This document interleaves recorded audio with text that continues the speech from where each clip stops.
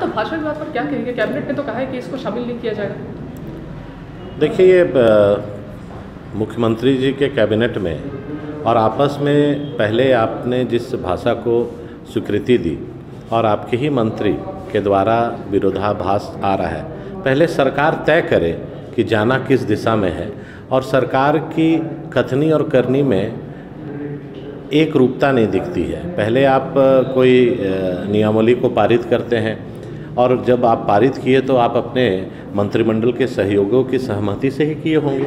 और उसके बाद फिर इस तरह का विवाद करना तो सरकार में तालमेल की कमी है और इनके विचार में भी भिन्नता आती है। पहले सरकार तय करे, उसके बाद हम लोग अपनी बातों को सदन के अंदर में बहुत स्पष्ट रूप से रखेंगे। जब जब देखा जा रहा है कि आदिवासी मूलवासी संगठन जो है, ज़मीन को लेकर बहुत ज़्यादा हमेशा उग्र हो जाती है। कहते माफिया के द्वारा हमारा ज़मीन बेचा जा रहा है। हेमंत सोरेन खुद आदिवासी है तो आदिवासी को न्याय कब मिलेगा फिर?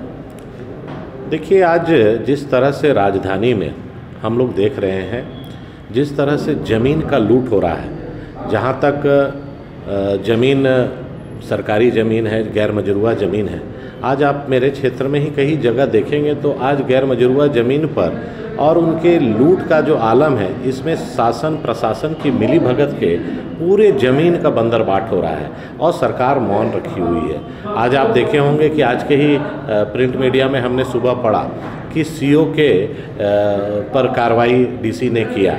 आज म्यूटेशन के लिए हज़ारों हज़ार म्यूटेशन लंबित है। और लंबित होने का कारण ये है, उसको डिस्पोज इसलिए नहीं कर रहे हैं कि डिस्पोज करने के पीछे उनका जो सेल्फ इंटरेस्ट है, जो म्यूटेशन हो गया, जो गरीब पहुँचा नहीं पाया, उसका म्यूटेशन रिजेक्ट हो गया।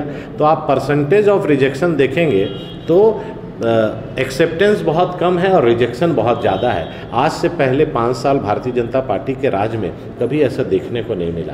आज सभी जगह, चाहे आप थाना जाइए, चाहे अंचल कार्यालय जाइए, चाहे बीडीओ के पास जाइए, हर जगह भ्रष्टाचार चरम पर है। झारखंड के लोग त्रस्त हैं और माननीय मुख्यमंत्री जी को इसकी चिंता नहीं है।